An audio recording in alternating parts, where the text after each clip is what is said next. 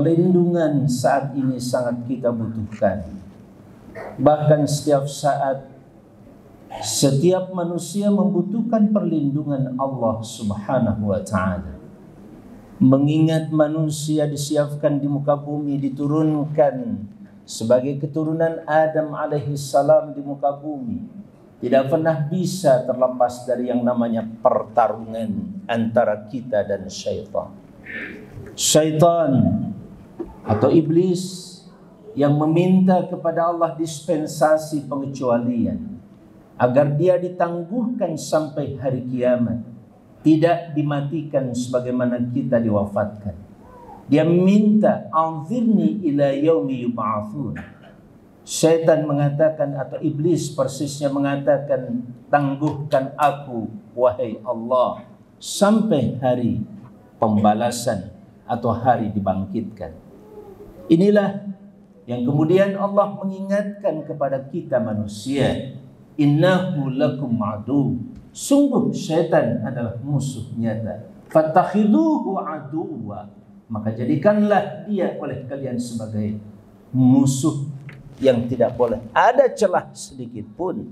Salat kenapa harus rafat barisannya dalam rangka menutup seluruh sekecil apa pun yang disebut dengan keretakan termasuk dalam barisan harus segera ditutup untuk menutup celah jangan sampai masuk syaitan atau iblis ke dalamnya. Begitupun celah dalam hati kita. Jangan biarkan ada celah setan masuk dalam hati nurani kita. Atau celah pada pikiran kita. Setan masuk dalam pikiran kita. Dengan berbagai macam ide gagasan yang menyesatkan kita. Yang bertentangan dengan perintah Allah maupun bertentangan dengan larangan Allah Azza wa Jal. Kalau kita biarkan, maka setan akan menari dalam pikiran kita. Dalam hati dan jiwa kita. Dia mencoba membuat kita mempersekutukan Allah Subhanahu wa taala. Sampai pada akhirnya kita mati dalam keadaan kufur. Saat itulah dia bersolat dan dia menjadi pemenang. Kita menjadi pecundang saat itu. Pesan Allah kepada kita. Ya ayyuhalladzina amanu. Hai orang-orang yang beriman. Ittaqullaha haqqa tuqatih Bertakwalah kalian senantiasa. Jalankan setiap perintah-perintah Allah dan jauhi segala bentuk larangannya. Jangan biarkan pikiran hati maupun perilaku kita membiarkan ada celah tidak taat kepada Allah. Celah mempertanyakan perintah Allah. Kenapa aku harus berjilbab? Di tengah seperti panas seperti ini. Pertanyaan-pertanyaan itu adalah pertanyaan-pertanyaan yang pastikan itu dari syaitan. Hati-hati Bapak dan Ibu sekalian, jamaah salat Idul Adha yang berbahagia. Begitu hanya kenapa saya harus salat? Bukankah Allah tahu tentang kebutuhan saya? Lalu kenapa saya harus sujud dan dan sebagainya? Bukankah aku hidup dengan kekuatan dan kehebatan diriku? Aku dapat harta berdasarkan hasil usahaku, bukan hasil mana Tuhan dan tidak ada itu Tuhan. Jadilah dia seorang ateis, tidak mengerti dari mana dia diciptakan dan oleh siapa diciptakan. Dia makan minum hari ini dengan fasilitas siapa. Kalau saja satu giginya yang sakit, dia tidak bisa menikmati. Lidahnya yang terkena sariawan, dia tidak bisa makan dan tidak bisa menikmati apa yang dia kerjakan selama ini. Yang dia cari, yang dia buat makanan senikmat mungkin tanpa lidah yang sehat. Maka dia tidak akan bisa menikmati makanan itu. Siapa yang menciptakan lidah? Siapa yang menciptakan sehat pada lidah kita? Pemikiran yang memberikan celah kepada setan itulah yang bisa mengakibatkan kekufuran. Maka pesan Allah kepada kita wala tamutunna illa wa antum muslimun. Bertakwalah terus kepada Allah. Pelajari mana yang Allah perintahkan dan mana yang dilarang oleh Allah Subhanahu wa taala dan pastikan setan pasti kebalikannya. Apa yang diperintahkan Allah kata setan jangan dilakukan. Apa yang dilarang oleh Allah Subhanahu wa taala kata setan lakukan itu. Itu sebenarnya yang kenikmatan buat kamu sekalian. Jangan biarkan hati dan pikiran kita ada celah setan masuk ke dalamnya kemudian menyesatkan kita Akhirnya pesan Allah pun jangan kalian mati kecuali dalam keadaan muslim. Akhirnya tidak berhasil. Semoga Allah melindungi kita dan Allah menganugerahkan kepada kita husnul khatimah dalam rangka mempersiapkan hamba-hambanya yang bertakwa. Allah tidak pula membiarkan. Tidak pernah Allah membiarkan kita tanpa pedoman hidup. Tanpa hudan, tanpa petunjuk, tanpa contoh. Sejak Adam alaihi salam diciptakan. Kemudian diturunkan ke muka bumi. Bagaimana dia transit waktu berada di dalam sorga. Menikmati suasana sorga diajarkan kepada Adam alaihissalam ilmu demi ilmu oleh Allah azza wajal dalam rumusan yang begitu singkat yang disebut dengan nama. Kalau kita sebut ini namanya mimbar, itu adalah sebuah tempat di mana kita bisa berdiri untuk berpidato di atasnya atau di sebelahnya atau di belakangnya. Sebuah nama menunjukkan sebuah konsep. Konsep menunjukkan sebuah sistem dalam kehidupan. Masjid adalah sebuah sistem cukup disebut dengan masjidun. Begitu halnya dengan pohon, begitu halnya dengan udara. Semua diajarkan Allah. Wa 'allama Adam al-asma'a kullaha. Lihat. Dengan catatan dan sejarah ini Bapak Ibu sekalian hamba-hamba Allah. Manusia diturunkan oleh Allah dengan ilmu dan ilmu itu adalah ilmu Allah yang pasti ilmu dari yang maha menciptakan alam semesta ini, manusia dan kehidupan, maka ilmu Allah adalah ilmu pasti. Ini jelas bertentangan dengan teori yang mengatakan manusia tumbuh dan diciptakan dari primitif. Suasana yang primitif tidak kenal apa-apa. Bodoh luar biasa. Tidak mengerti tentang bagaimana cara membuat peralatan-peralatan untuk hidupnya. Sekali lagi, teori ini salah dalam Islam. Islam mengajarkan manusia tidak diciptakan dengan kebodohan. Manusia diciptakan dengan ilmu Allah Subhanahu wa taala. Dibekali ilmu-ilmu Allah Azza wa Jal. Ketika turun ke muka bumi, Nabiullah Adam sudah merekam peristiwa sorga. Dan sorga adalah gambaran peradaban tertinggi di dunia. Peradaban tertinggi dalam kehidupan alam semesta ini. Dunia maupun akhirat. Di mana kita akan kembali ke sorga insya Allah. Kembali menikmati peradaban sebagaimana yang pernah dinikmati oleh Adam alaihissalam. Baru terbersit dalam benak pikiran kita itu sudah terwujud. Aku ingin sebuah rumah mewah. Dikelilingi oleh seluruh kebun-kebun yang indah. Baru terbersit Tengok kanan, tengok kiri sudah terbentuk itu semua. Kun fayakun. Ilmu Allah. Catatan terbaik buat kita hari ini alam. Jangan pernah menganggap remeh manusia. Jangan mengatakan manusia turun secara primitif. Manusia turun itu dengan ilmu Allah. Dengan gambaran peradaban sorga tertinggi dalam kehidupan. Maka Adam alaihissalam ketika turun ke muka bumi pun merintis kehidupan didampingi oleh istri tercintanya Hawa. Dari situ lahir anak demi anak, termasuk di antaranya Qabil dan Habil. Allah perintahkan kepada Adam alaihissalam agar menyampaikan kepada Qabil dan Habil untuk berkorban. Itu pertama kali korban terjadi. Bekorbanin bahasanya dengan korban. Asal kata dari qaruba yaqrubu yang artinya dekat Korban itu adalah untuk mendekatkan diri kepada Allah Subhanahu wa taala dengan mengorbankan yang terbaik, bukan yang sisa-sisa kehidupan. Justru kita sisihkan dari awal itulah yang akan kita korbankan, bukan sesuatu yang tersisa dari makanan, minuman atau sisa belanja kita. Sejak awal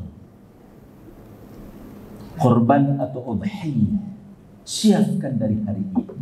Hari ini saya tidak bisa kurban. Mulai besok saya akan menabung. Menyisihkan sengaja kita sisihkan. Aku akan sisihkan 100 ribu per bulan. Kalau pendapatan 1 juta atau 10 juta. Aku akan sisihkan 1 juta per bulan.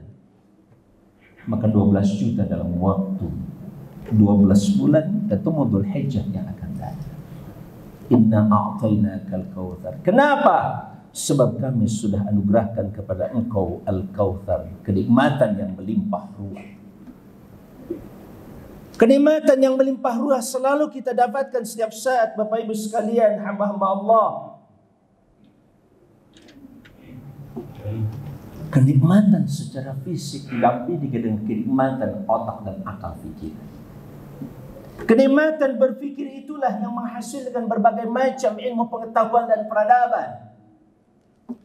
Tidak berhenti sampai di situ.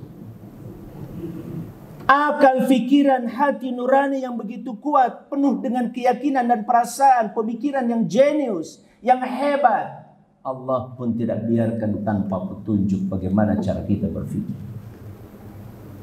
Kitabullah Al-Quran mengajarkan satu teori tentang apa yang disebut dengan furqan. Furqan adalah pembeda. Sebuah tingkat kecerdasan yang paling dibutuhkan manusia adalah kemampuan membedakan.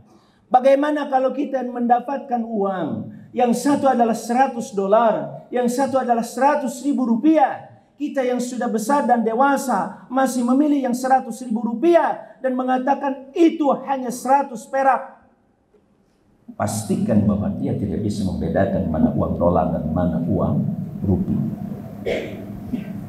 Bodoh atau tidak?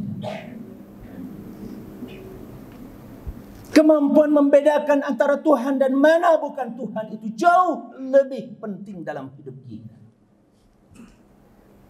Beribadah tapi untuk Tuhan yang tidak mesti jadi Tuhan. Dia hanya benda yang diciptakan atau manusia seperti kita dipertuhankan. Itu sesuatu yang melampaui batas-batas kemanusiaan dianggap sebagai Tuhan. Saya sampaikan di forum ini. Kenikmatan kita mendapatkan informasi, pengetahuan dan keyakinan tentang Tuhan yang paling menentukan. Di mana kita diciptakan olehnya, hidup dengan seluruh fasilitasnya, dan kita akan mati mempertanggungjawabkan seluruh kehidupan kepadanya. Itu adalah anugerah terbesar untuk kita semua.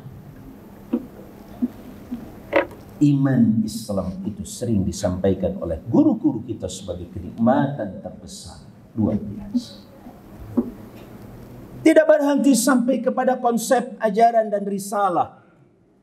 Allah pun mengutus para nabi dan rasulnya menjadi model, menjadi contoh yang disebutkan dengan uswatun hasanah. Qad kanat lakum fi Ibrahim.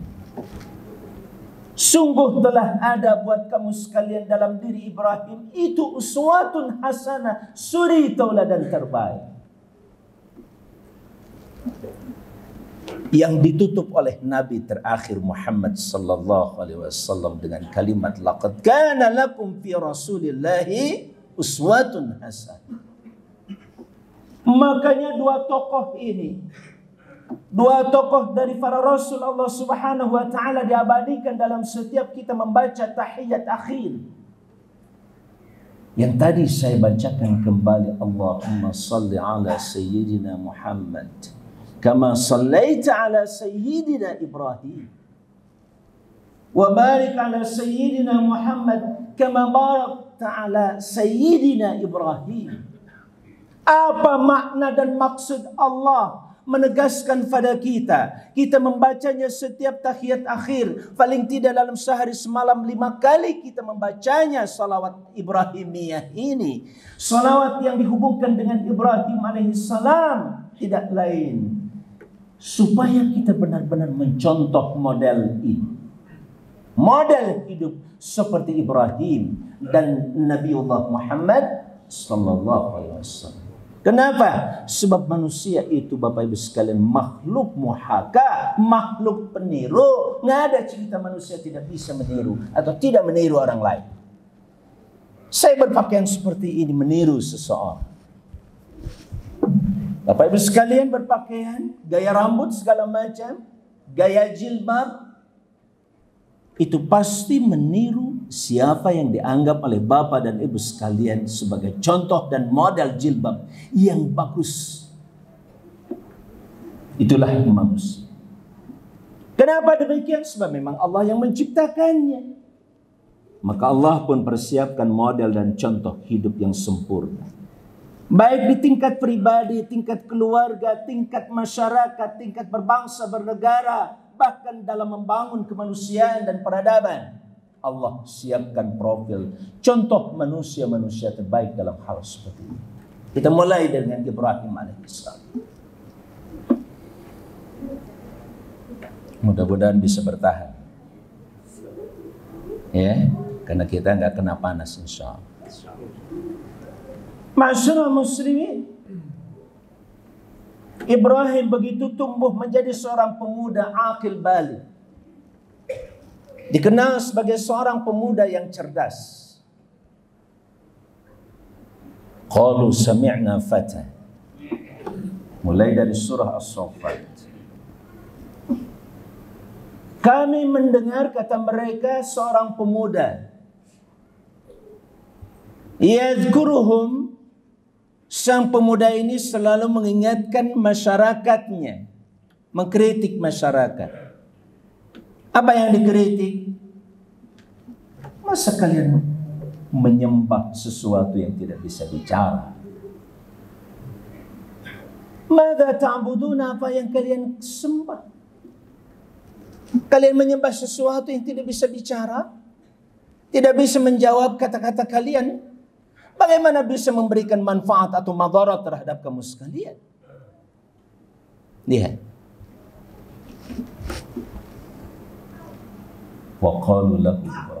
Mereka menamakannya sebagai Ibrahim. Ibrahim ini gara-garanya Begitu kritis terhadap kondisi masyarakat yang tersesat. Dia kritik sampai pada tingkat dia beranikan diri hancurkan seluruh patung itu kecuali ketuanya atau patung terbesar yang pada saat mereka mengatakan kamu hai Ibrahim yang telah menghancurkan itu kata Ibrahim lihat saja itu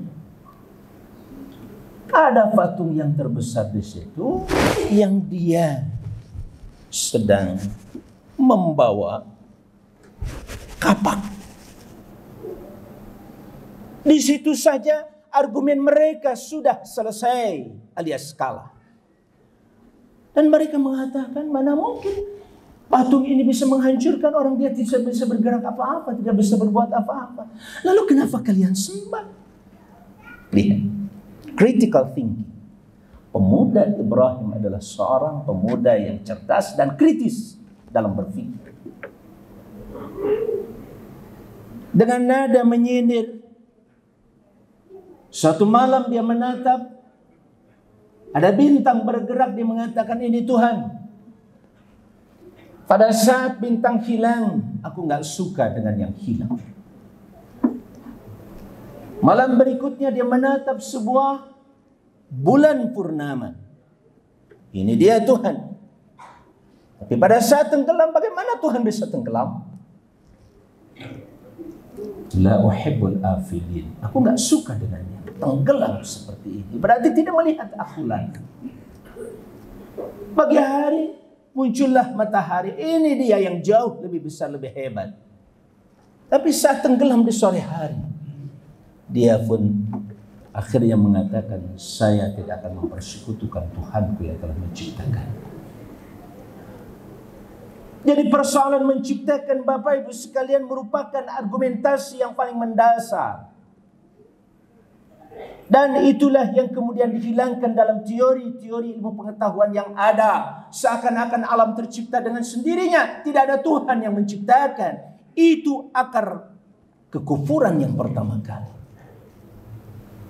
Dan akar keimanan sebaliknya pada saat kita pun bertanya, mana mungkin masjid ini berdiri kalau tidak ada yang merancang dan membuatnya? Siapa yang bikin masjid ini? Itu sebuah pertanyaan dengan keimanan dan logis. Maka dia pun bertemu dengan Allah Subhanahu wa taala. Berikutnya, Nabi Ibrahim sepanjang hidupnya diuji oleh Allah dalam surat Al-Baqarah 124. Wa idh ibtala Ibrahim rabbuhu bikalimatin fatammahun. Qala inni ja'iluka lin-nasi imama. Qala wa min dhurriyyati. Qala la yanalu ahdi adh-dhalimin. Tahap berikutnya adalah ketika Ibrahim menjadi pribadi yang hebat, kokoh, kuat, maka dia pun mulai berkeluarga. Dengan keluarga itu dia mencoba untuk menjelaskan tentang apa yang Allah ujikan terhadap dirinya. Setiap kata dan kalimat yang dia kenal tentang iman, tentang salat, tentang zakat, tentang apa pun yang Allah perintahkan dia sempurnakan. Sebab itu kata adalah ujian. Maaf Bapak Ibu sekalian. Kita diuji dengan kata-kata salat. Apakah sudah faham apa yang dimaksud dengan salat? Ujian pertama. Yang kedua, apakah sesudah kita faham kemudian kita menjalankannya dengan benar sesuai dengan yang kita pahami? Ujian kedua.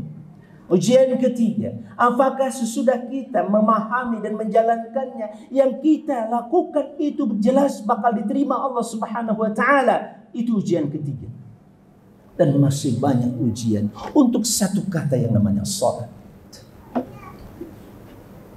Untuk satu kata yang namanya iman. Apakah kita sudah benar-benar beriman? Yakin Allah adalah Ar-Razzaq yang maha menganugerahkan rizki pada kita. Kalau hari ini Bapak Ibu sekalian keluarkan seluruh harta yang dari rekening untuk membeli misalkan satu ekor sapi untuk keluarga atau satu ekor kambing untuk pribadinya. Saya tidak punya uang lagi. Cuman tinggal 5 juta. Oke, aku keluarkan. Tapi bagaimana bulan depan? Masih 20 hari ke depan. Dia yakin Allah pasti menggantinya. Maka dia pun keluarkan itu uang. Kemudian dibelikan. Dan dibagikan dagingnya. Ketakwaannya yang sampai pada Allah. Allah terima ketakwaan dia. Maka Allah jamin kehidupannya. Sebagaimana kita pernah dijamin kehidupan kita sejak di alam rahim ibunda. Kita tidak pernah kerja, kita tidak pernah mencari nafkah, tapi rezeki kita terus mengalir. Begitu lahir, kemudian kita dibesarkan sampai kita dibesarkan selesai kuliah oleh orang tua kita. Setelah kuliah baru kita bekerja, mendapatkan uang 24 tahun lamanya kita mendapatkan rezeki tanpa kita yang melakukan dan mencari.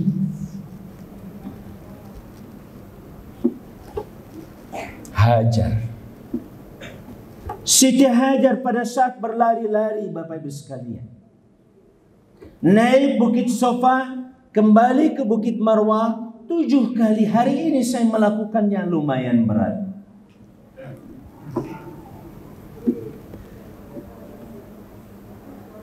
Untuk mencari setetes air waktu itu untuk putranya Ismail. Sampai selesai tujuh kali. Dia pastikan ada atau tidak ada air.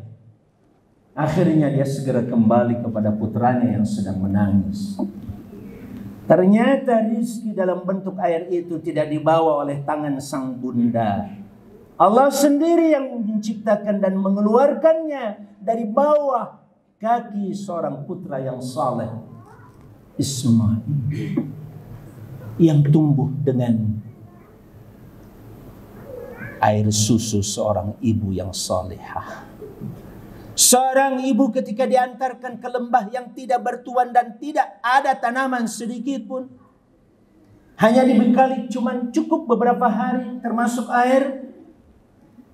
Pada saat kembali sang suaminya menunaikan tugas dakwah kembali ke Palestina dari Makkah, sang istri bertanya, "Aina tadhhab ya Ibrahim? Mau kembali, mau pergi ke mana?" Kalau bahasa kita, kau tinggalkan aku sendirian dan anak dalam keadaan seperti ini. Tidak ada tumbuhan tanaman di sekitar ini dan tidak ada sumber mata air. Nabi Ibrahim tidak menjawab. Sampai ketiga kali bertanya dengan pertanyaan yang berbeda, sang istri mengatakan, Allahu amaraka bihada. Wahai Ibrahim, apakah Allah yang memerintahkan ini? Dengan penuh keyakinan. Nabi Ibrahim mengatakan, Naam, iya. Sang istri pun menjawab, Idzan la. Kalau begitu Allah tidak akan pernah menyia-nyiakan kamu. Maaf Bapak Ibu yang saya hormati. Ibu-ibu dan anak-anak, rizki bukan bapak dan ibu yang mengatur. Sumber rizki bukan bapak, bukan suami. Sumber rizki tetap Allah. Saat ini lewat suami. Saat ini lewat sang ibu. Saat ini lewat orang tua. Tetapi hakikat yang maha mengatur dan menentukan rizki hari ini aku dapat atau tidak adalah Allah Subhanahu wa taala. Pastikan ketika pagi hari ayah wafat dan meninggal dunia. Sampai hari ini sudah 12 tahun, 12 tahun tetap hidup. Artinya aku hidup bukan oleh seorang ayah atau seorang suami. Tapi ada Allah yang menjamin. Itulah mentalitas seorang keluarga atau sebuah keluarga mulai dari Ibrahim alaihissalam, istrinya Hajar dan juga Sarah, begitu dengan putranya saat ditawarkan untuk disembelih. Kata Ibrahim, wahai ananda, aku bermimpi menyembelih engkau. Mimpi seorang nabi tidak bisa dimanipulasi oleh iblis atau setan. Mimpi seorang nabi adalah wahyu maka Ibrahim pun menawarkan itu kepada putranya. Apa kata sang anak yang sudah mulai tumbuh? Bisa diajak bermain dan dewasa. Dia pun mengatakan, If'al ma tu'mar satajudini insyaallah min sabirin. Wahai ayahanda, lakukan apa yang kau diperintahkan. Kau akan temukan aku dalam keadaan bersabar. Insya Allah. Lihat. Dari mana lahir seorang Ismail seperti itu? Dari doa seorang ayah. Perawatan seorang ibu yang tidak pernah lepas daripada kata Allah dan zikir pada Allah. Seorang ayah yang mengatakan Rabbi ja'al hadha baladan amina. Rabb, jadikan negeri ini sebagai negeri yang aman. Allah pun jawab sampai detik ini, Negeri teraman di dunia sampai hari ini adalah Makkah Mukarramah dan Madinah Munawwar. Tidak pernah tersentuh oleh penjajahan. Pernah suatu saat pasukan gajah mau merampas dan mengambil supremasi kehebatan daripada Makkah ingin dialihkan itu kiblat ke negara dia yaitu di Ethiopia maka Allah hancurkan dengan Tayrun ababil yang kita kenal dengan istilah burung ababil. Dari mana? Dari Allah. Hanya membawa bebatuan kecil saja dan mereka menghujani ashabul fil itu dengan batu-batu kecil dan mereka pun luluh lantak hancur waktu itu. Lihat. Doa Ibrahim bukan hanya untuk keluarganya, Rabbi ja'alni muqima salati wa min dhurriyyati Rabb.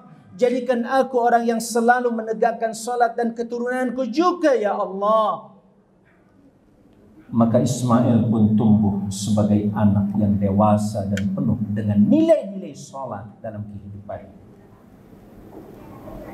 Yang pada saat dia menerima keputusan dan perintah Allah disembelih maka dia pun dengan pasrah penuh dengan kepatuhan.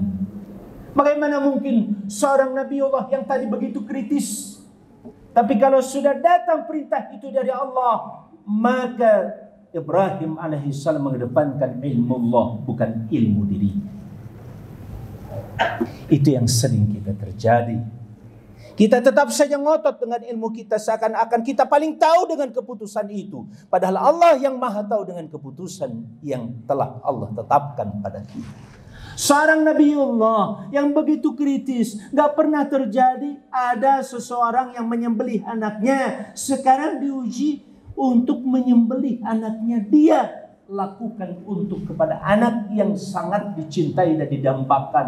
Memang sulit mendapatkan anak itu, tapi begitu mendapatkan anak, Allah menagih Ibrahim untuk menyembelih anaknya. Di sini dia kedepankan iman. Iman bahwa Allah tidak pernah membuat keputusan. Kalaupun masjid ini hancur, ada keputusan terbaik kembali. Nabi Ibrahim akhirnya mengasah pisau atau golok. Dilihat oleh sang anak tajamkan wahai ayah. Yang sampai aku nanti merintih kesakitan. Maka ditajamkan. Kemudian segera dia watallahu lil jabin maka dibaringkanlah di pelipis kanan. Begitu digosok, maaf, digorok satu, dua, tiga kali tidak mempan. Padahal itu dalam sebuah riwayat tafsir mengatakan, ada yang mengatakan setajam luar biasa tapi tidak sedikit pun melukai leher sang anak yang patuh pada Allah tadi. Memang Allah katakan kami uji engkau Ibrahim. Qad sadaqta ruya kau telah benarkan mimpi itu. Maka Allah pun gantikan dengan sembelihan yang begitu agung dan besar. Allah utus malaikat Jibril untuk membawa dua ekor kambing yang begitu besar, yang begitu hebat, yang begitu sehat. Maka digantikanlah Ismail dengan kedua kambing tidak hanya berhenti sampai di situ. Allah abadikan sampai detik ini. Sekali lagi, itulah profil Ibrahim alaihissalam. Bahkan haji sekalipun Bapak Ibu yang berbahagia, manasiknya, ibadah demi ibadahnya itu mengikuti apa yang diajarkan dan dijalani Ibrahim alaihissalam melempar jumrah ula, kedua, ketiga, tawaf, kemudian sampai sa'i. Itu semuanya mengabadikan perjalanan hidup sebuah keluarga Ibrahim alaihissalam. Terakhir saya sampaikan Bapak Ibu yang berbahagia. Setelah kurban merupakan salah satu aktivitas yang dilakukan oleh mereka yang tidak berhaji. Mari kita lihat bagaimana haji yang terakhir sebagai sebuah peradaban yang luar biasa. Insya Allah saya sampaikan pada khutbah kedua. Barakallahu wa lakum fil Qur'anil Karim wa nafa'ani wa iyyakum fihi min ayatil dzikril hakim. Wa taqabbal minni wa minkum tilawatahu innahu huwal ghafurur rahim. Jangan lupa like, share, subscribe channel inspirasi dari Kang Haji Amang Safrudin ya. Jangan lupa subscribe ini.